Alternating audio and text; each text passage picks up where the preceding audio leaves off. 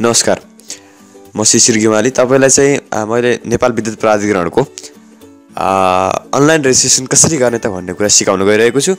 यसमा चाहिँ म पार्ट पार्ट बनाइ भिडियो बनाउँछु किनकि मसँग चाहिँ अहिले शैक्षिक योग्यताका प्रमाणपत्रका तिनी प्रतिलिपिहरू चाहिँ अनि फोटोहरू चाहिँ उपलब्ध छैन। तर त तपाईँलाई चाहिँ म आफ्नो बायोडाटा कसरी बनाएर चाहिँ सेभ गर्ने भन्ने कुरा चाहिँ सिकाउँछु। बाँकी बाँकी कुरा चाहिँ म पेमेन्टको कुरा चाहिँ पछिल्लो भिडियोमा सिकाउँछु।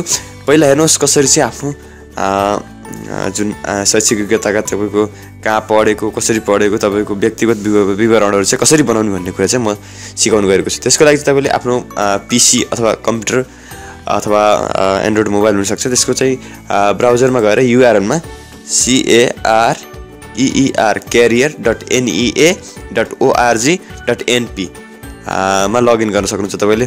यहाँनिर देख्न सक्नुहुन्छ। यसमा चाहिँ लगइन गर्नुहोस्। लगइन गरिसकेपछि तपाईँलाई के हुन्छ त एउटा चाहिँ इन्टरफेस देखा देखिन्छ जहाँ चाहिँ नेपाल विद्युत प्राधिकरणको। यहाँ अनलाइन फर्म भर्दा ध्यान दिनुपर्ने कुराहरू भनेको छ। यहाँ हेर्न सक्नुहुन्छ तपाईँले चाहिँ अनलाइन फर्म फर्म भर्दाखेरि चाहिँ उम्मेदवारको दुवै कान देखिने एक सय पचास पिक्सलको स्क्यानिङ गरेको वा क्यामेराबाट खिचेको पासपोर्ट साइजको डिजिटल फोटो चाहिन्छ। यसै गरी दरखास्तको जुन उम्मेदवारको चाहिँ दरखास्तको जुन तपाईँको साइनको डिजिटल कपी हुनु पऱ्यो यसै गरी चाहिँ तपाईँको विभिन्न कुराहरू चाहिँ यहाँनिर चाहिँ भनिरहेको छ तपाईँले। अब उम्मेदवारको व्यक्तिगत विवरण शैक्षिक योग्यता तालिम अनुभव लगायतका द दरखास्त भारमा चाहिँ माग गरेको अन्य विवरणहरू भनेको छ। अनि यसै गरी सरी यहाँ चाहिँ दरखास्त भनेको छ। दरखास्त भनेको तपाईँको चाहिँ जुन तपाईँले फर्म डाउनलोड गरेर भर्नुभएको छ त्यसको चाहिँ डिजिटल कपी चाहियो। यसै गरी चाहिँ यहाँनिर चाहिँ अनलाइन फर्म भर्ने तरिकाहरू भनेको छ जुन चाहिँ म सिकाउन गइरहेको छु।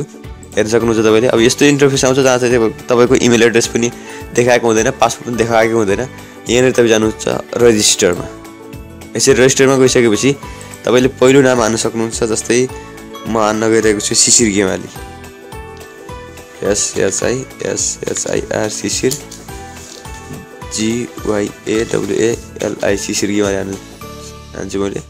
एउटा मैले इमेल क्रिएट गरेको छु जुन तपाईँलाई देखाउनको लागि चाहिँ पिआर साठी सैँतिस पाँच at the rate Gmail dot com. यहाँनिर चाहिँ यो हानिसकेपछि फादर्स नेममा चाहिँ म यनि जगत हान्छु मैले साँच्चै। यहाँनिर चाहिँ जे एजिएटी जगत पिआरएएसटी प्रसाद जिवाइएडब्लुए यसलाई जगत प्रसाद गिमाले लेखेँ। यसै गरी चाहिँ ग्रान्ड फादरमा मेरो हजुरबाको नाम लेख्नुपर्ने हुन्छ। फादर्स नेममा चाहिँ तपाईँले चाहिँ बाबाको नाम लेख्नुहोस् आफ्नो। म यहाँ अनि यसै गरी ग्रान्ड फादरमा याम कुमार ने गेवाली लेख्छु। याम। तपाईँले चाहिँ आफ्नो हजुरबुवाको नाम लेख्नु होला।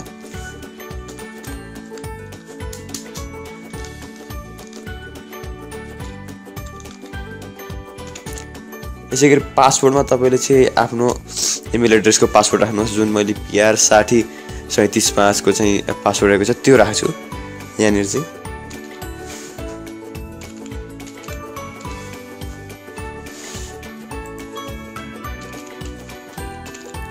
अब यसै गरी मोबाइल नम्बर राख्न सक्नुहुन्छ तपाईँले। यहाँनिर चाहिँ मोबाइल नम्बर म एकचोटि चाहिँ एक दुई तिन चार हुन्- राखेर हेर्छु। एक दुई तिन चार पाँच छ सात आठ नौ जिरो। हेरौँ यहाँनिर के मान्छ कि मान्दैन नमाने आफ्नो नम्बर हान्नुपर्ने हुन्छ। आफ्नो मैले चाहिँ यहाँ जिरो एक तिन चार पाँच छ नौ जिरो हाने। तपाईँले चाहिँ आफ्नो नम्बर हान्नु होला त्यहाँनिर। अब यहाँनिर चाहिँ आफूले भर्न चाहेको विज्ञापनको किसिम छान्नुहोस् भनेको छ। यहाँनिर चाहिँ मेरो खुल्ला रहेको छ। उसले चिनिसकेको छ गेवाली भनिसकेपछि बाहुन भने चिनिसकेको छ। यसले चाहिँ खुला तर्फबाट तपाईँले फर्म भर्न सक्नुहुन्छ। यसरी आयो शिशिर गेवाली जगत प्रसाद यसो इन्टरफेस आयो यहाँनिर देख्न सक्नुहुन्छ।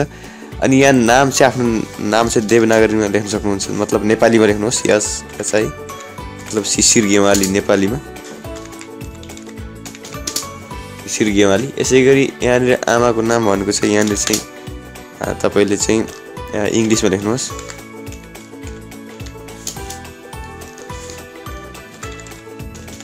यसरी तपाईँले यहाँनिर चाहिँ आफ्नो आमाको नाम राख्नुहोस्। यहाँ बाबुको नाम भइहाल्यो।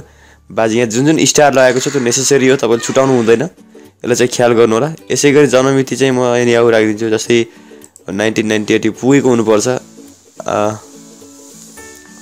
सरी नेपाली हो त्यसैले म यनि राखिदिन्छु। जे आउँछ मत चाहिँ मैले अब एघार महिना होइन एघार महिनाको राखिदिन्छु।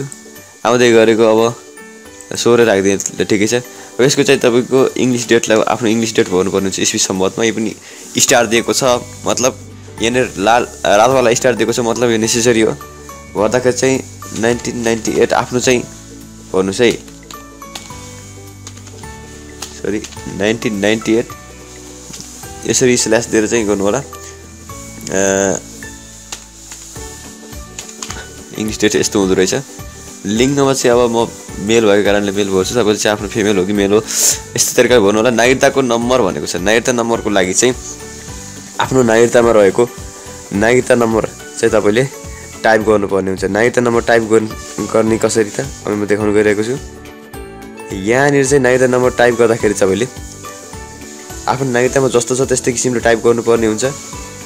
जस्तै म एउटा रेफरेन्स दिन गइरहेको छु। एकचालिस एकचालिस जिरो एक त्रिहत्तर zero three four five four लेखेँ मैले जस्तै। जारी गर्ने जिल्ला चाहिँ म गुल्मी राख्छु। गुल्मी तपाईँले आफ्नो जिल्लाको कुन जिल्लाले जारी गरेको त्यसको चाहिँ अघिल्लो अक्षरको हान्नुभयो भने अक्षर हान्नुभयो भने टाइप गर्नुभयो भने किबोर्डमा अनले अलरेडी लगभग यहाँ गोर्खा आयो जी हाल्ने बित्तिकै जियु हाल्ने बित्तिकै यहाँनिर चाहिँ गुल्मी आइहाल्छ। सरी जियु गुल्मी आइसकेको छ यसलाई इन्टर हानिदिने। यसै गरी चाहिँ जारी मिति कहिले भएको भन्ने कुरो चाहिँ मैले एउटा चाहिँ आफ्नो जारी मिति चाहिँ कहिले भएको हो त यो भन्ने कुरा चाहिँ म राख्न गइरहेको छु। जस्तै यहाँनिर म दुई हजार त्रिहत्तर सरी यो चाहिँ दुई हजार त्रिहत्तरमा म हान्न गइरहेको छु। यहाँ अनि मथमा चाहिँ मेरो फाइभ गरिदिन्छु म। यसमा चाहिँ अब सिक्स गरिदिन्छु। यसमा मैले जे पनि भरेको छु आफ्नो भर्नु होला कृपया। यसमा चाहिँ सेभ एन्ड नेक्स्ट गर्नुहोस्। अब तपाईँको सेभ भइसकेको छ अब चाहिँ कन्ट्याक्ट नगएको छ।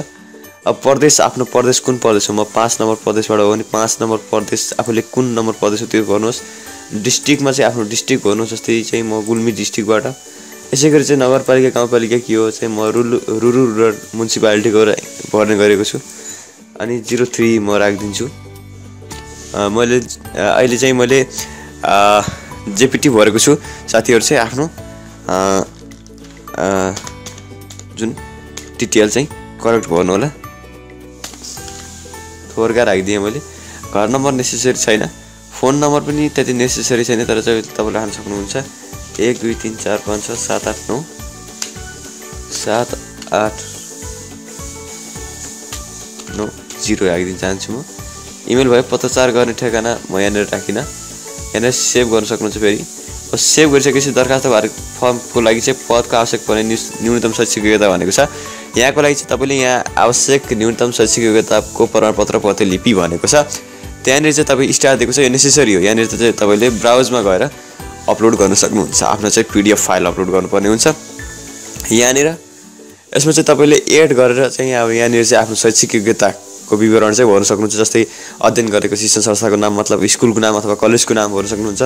परीक्षा लिने संस्था तपाईँको चाहिँ राष्ट्रिय परीक्षा बोर्ड हो कि यसै गरी चाहिँ एचएससिबी हो कि के हो चाहिँ तपाईँले भन्नुपर्ने हुन्छ। प्राप्त शैक्षिक योग्यता कुन हो प्लस टू एसएलसी अथवा तपाईँको कुन योग्यता हो तपाईँको शैक्षिक योग्यता त्यो भन्नुपर्ने हुन्छ सङ्काय भनेको तपाईँको कुन फ्याकल्टीको हो? जस्तै अब तपाईँको सङ्काय म्यानेजमेन्ट सङ्काय हुन्छ एजुकेसन सङ्काय शिक्षा सङ्काय अथवा लेखा सङ्काय अब के छ है त्यो चाहिँ त्यो तपाईँले भन्नुपर्ने हुन्छ। अब चाहिँ यसै गरी चाहिँ उत्तीर्ण साल कहिले हो? प्राप्त प्रतिशत कहिले हो? श्रेणी जिपिए छ भने जिपिए कसरी गर्न सक्नुहुन्छ? यहाँनिर एड गर्न सक्नुहुन्छ। यसै गरी चाहिँ यसपछिको यहाँ चाहिँ अहिले मसँग के छैन त? यो यहाँनिर मसँग शैक्षिक योग्यताको प्रमाणपत्रको प्रतिलिपि कुनै पनि छैन। जे पाए त्यही अपलोड गर्न म चाहन्न। यहाँनिर चाहिँ अब माथि गएर ट्रेनिङमा हेर्न सक्नुहुन्छ। यो ट्रेनिङमा पनि तपाईँले चाहिँ अध्ययन गरेको संस्थाको सरी यहाँ के भनेको छ भन्दाखेरि चाहिँ जबसम्म तपाईँले यो ट्रेनिङमा जान पाइएन यहाँनिर जबसम्म तपाईँले चाहिँ फुलफिल गरिएन हाम्रो यो एजुकेसनल डिटेलहरू हामीले फुलफिल गरिएन त्यसैले चाहिँ अगाडि जानु पाइएन। यसको लागि चाहिँ पछाडि जानुको लागि चाहिँ नेक्स्ट भिडियो हेर्नुहोला भन्न चाहन्छु। तुरुन्तै आउनेछ।